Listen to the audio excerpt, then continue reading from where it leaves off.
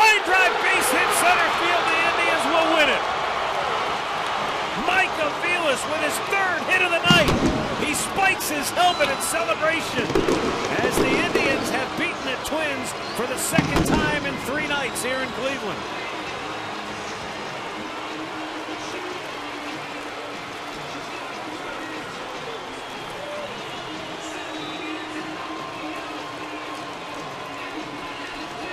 The big hit that's been missing, the RBI hit with runners in scoring position and two outs this year.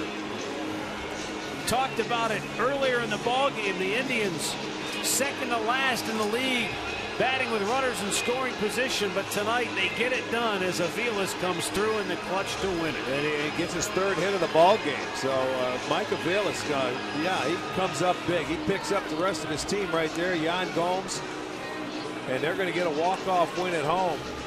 Mike Aviles with a nice job on a 1-1 pitch. He had another base hit that went right back up the middle like that, and then he lined one off the wall today. Greg Gibson, the home plate umpire, motioning to both players.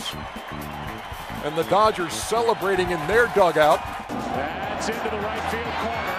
Robinson, nice catch for out number one. Well, I am a wizard from the future. Boom.